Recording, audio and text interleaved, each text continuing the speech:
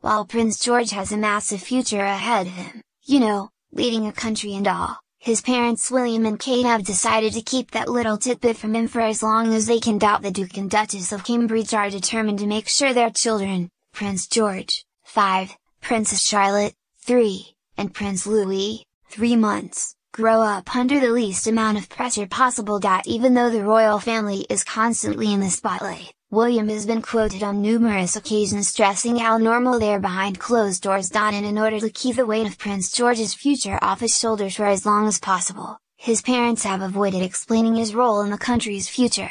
According to the Mirror. There will be a time and a place to bring George up and understand how he fits in, in the world. William said in a previous interview.